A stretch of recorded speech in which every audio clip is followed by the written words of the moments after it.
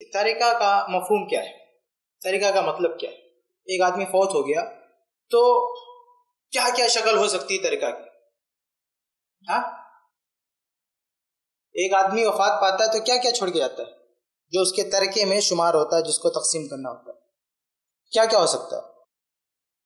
देखिए, तरीका में अगर हम कम से कम अल्फाज में कहें तो कह सकते हैं कि एक आदमी फौत हुआ और उसने जो भी छोड़ा, चाहे माल की कोई शक्ल हो या हकूक हो। माल या हक। आदमी छोड़ के फौत हुआ। माल या ऐसा हक जिसका ताल्लुक माल से हो। तो माल या हक, दौलत या हकूक छोड़ के मरता है, उसको तरीका कहते हैं। माल की कई शक्लें होती हैं।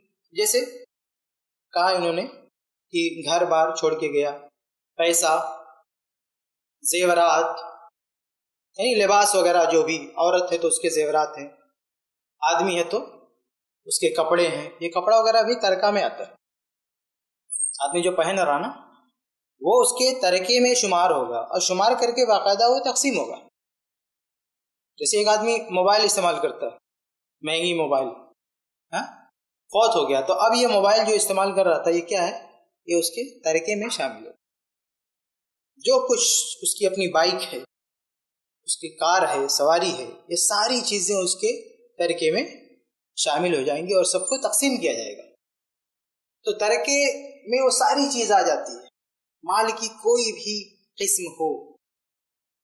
उसने किसी को पैसा दे रखा है, किसी ने उससे कर्ज ले रखा है तो वो भी वापस लेके तरके में शामिल किया जाएगा। या इसने किसी से कर्ज ले रखा है, मरने वाला, इसने किसी से लाख रुपया ले रखा था, और बदले में बतौर रहन उसके पास कुछ अपना माल छोड़ दिया था। ये जो माल बतौर रहन रखा हुआ है ना, ये भी उसके तरीके में शुमार होगा। तो क्या करेंगे? तो जितना पैसा इसने लिया था उसको रिटर्न करेंगे और उसका रहन लाके तरके में शामिल कर देंगे।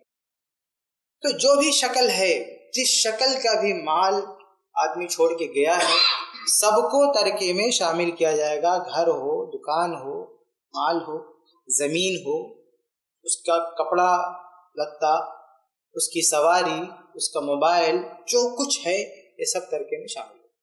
ये माल। और हक। कोई हक छोड़ के गया, जैसे कोई राइटर है मुसन्फ है, उसने कोई किताब लिखा तो कॉपीराइट